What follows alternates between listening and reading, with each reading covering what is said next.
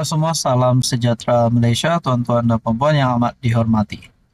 Ada satu perkongsian yang saya nak sampaikan kepada Anda.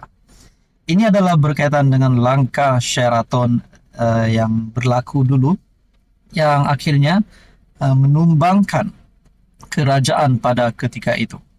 Sudah pasti beberapa watak di dalam langkah Sheraton yang menjadi ikon kepada langkah Sheraton, contohnya Azmin Ali, uh, dan beberapa pemimpin yang lain lagi. Namun saudara-saudara yang amat dihormati, rupanya Ahmad Zaid Hamidi pun ada membuat satu pengakuan. Melalui perkongsian daripada Syabudin bertarik 10 Ogos. Pengakuan Zahid Hamidi hanya mengesahkan beliau mengkhianati Anwar. Hmm, apa yang kita boleh timbulkan persoalan di sini? Adakah langkah Sheraton yang dahulu pernah berlaku. Juga um, Zahid Hamidi, nama Zahid Hamidi menjadi salah satu dalangnya. Kata Zahid Hamidi, beliaulah dalang utama yang menggulingkan Tun Mahathir ketika itu bagi tujuan untuk menyelamatkan masa depan AMNO.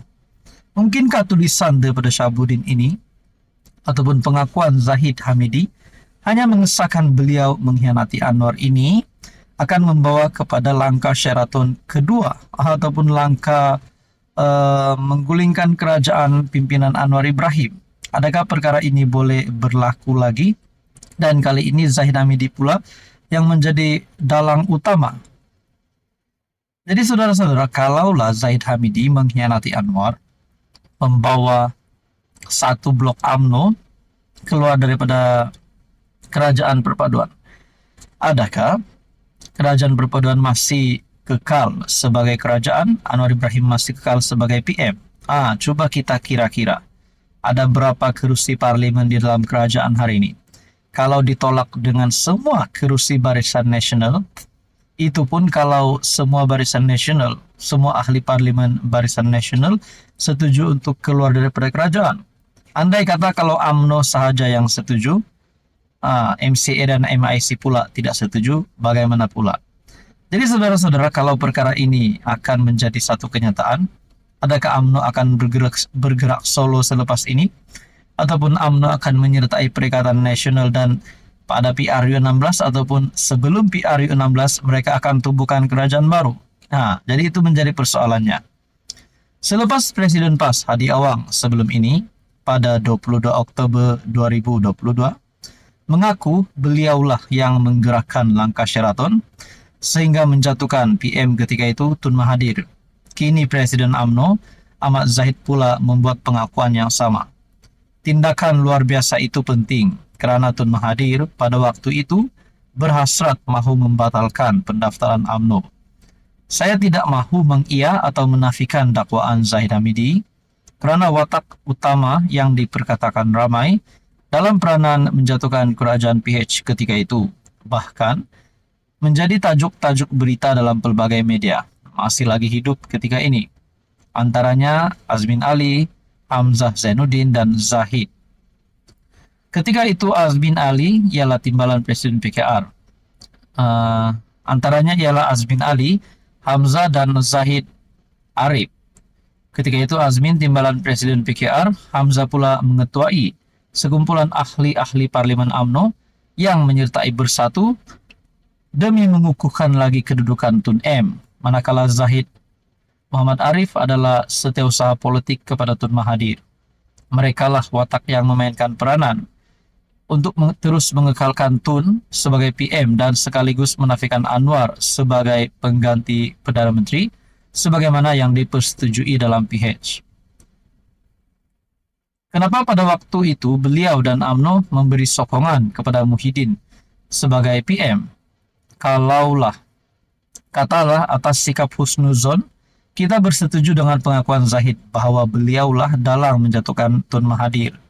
Ini adalah juga suatu bentuk pengakuan Zahid Hamidi sebenarnya yang adalah pengkhianat sebenar kepada Anwar. Bukankah di atas meja Muhyiddin sudah ada kertas cadangan untuk mengharamkan AMNO? Mungkin pada ketika ini uh, pengakuan Zaid Amidi sebenarnya adalah pengkhianat sebenar kepada Anwar Tapi mungkin pengakuan ini tidak lagi terpakai hari ini karena beliau bersama dengan Anwar di dalam kerajaan perpaduan. Ah, itu pendapat saya secara pribadi. Dan di akhir tulisan daripada Syabudin, Anwar mungkin gembira dengan sokongan Zahid dan AMNO kepadanya karena ia akhirnya membolehkan beliau menjadi PM. Tapi satu pesanan kepada Anwar dengan pelbagai kelicikan Presiden AMNO yang, yang hanya diberi di NEE itu. Berhati-hatilah dengan senyuman Zahid Hamidi. Tidak mustahil selepas ini Anwar jadi mangsa sekali lagi, menurut Syabudin pada 10 Agustus. Jadi saudara-saudara, adakah Anwar Ibrahim perlu lebih berhati-hati dengan memecat Zahid Hamidi supaya beliau tidak ditikam belakang? Ah, mungkin itu salah satu option. Ah, jadi apa komen Anda berkaitan dengan isu ini? Halo semua, salam sejahtera Malaysia. Selamat datang ke channel Fels Lifestyle. Tuan-tuan dan puan, terima kasih kerana terus setia dan bersama di dalam channel ini. Ada satu berita duka cita yang dikongsikan melalui Malaysia Kini bertarik 10 Ogos. Ini satu pemergian yang mengejutkan seluruh rakyat Malaysia, terutamanya kepimpinan politik dan terutamanya parti PAS di Malaysia. Saudara-saudara dikongsikan bertarik 10 Ogos berita duka cita ini, ulama Kedah Tuan Guru Awang Lanai meninggal dunia. Ulama Kedah Abdul Wahab Hasan atau lebih dikenali sebagai Tuan Guru Haji Awang Lanai meninggal dunia pada usia 86 tahun di rumahnya di Parit Panjang dekat Baling Kira-kira tiga petang tadi bertarik 10 Agustus. Hal itu dimaklumkan Ketua Dewan Ulama PAS Pusat Datuk Ahmad Yahya menerusi hantaran di Facebook. Telah kembali ke Ramatullah Tuan Guru Haji Awang Lanai sebentar tadi. Semoga ditempatkan bersama orang yang beriman dan beramal soleh. Al-Fatihah katanya. Menurut perkongsian itu, Alairham dilahirkan di kampung Tupai. Alairham dilahirkan di kampung Tupai. Dan perkara ini dimaklumkan Ketua Dewan Ulama PAS Pusat Datuk Ahmad Yahya menerusi hantaran di Facebook. Menurut perkongsian itu, Alairham dilahirkan di kampung Tupai, Sik dan merupakan cahaya mata kepada pasangan Haji Hasan Saman dan Haja Siti Halima Mat Toha. Alayarham mendapat pendidikan awal di Sekolah Rendah Melayu Kampung Tupai sebelum menuntut ilmu agama di sekolah-sekolah pondok. Beliau telah membuka sekolah pondok Madrasah Tahzib An Nufus pada 1988. Bagi saya ini pasti satu pemergian yang mengejutkan kepimpinan politik Malaysia. Dan sudah pasti, pemergian ini ataupun berita duka cita ini turut dirasai oleh Presiden PAS Hadi Awang.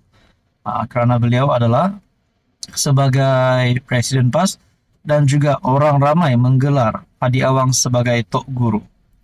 Disahkan melalui artikel Malaysia Kini, ulama Kedah Tuan Guru Awang Lanai meninggal dunia kita uh, berdoa supaya keluarga Alairham diberikan kekuatan, diberikan uh, kekuatan untuk menempuhi uh, waktu-waktu uh, yang sukar ini. Bagi saya, ini pasti satu pemergian yang mengejutkan kepimpinan politik di seluruh Malaysia. Sekian saja untuk kali ini.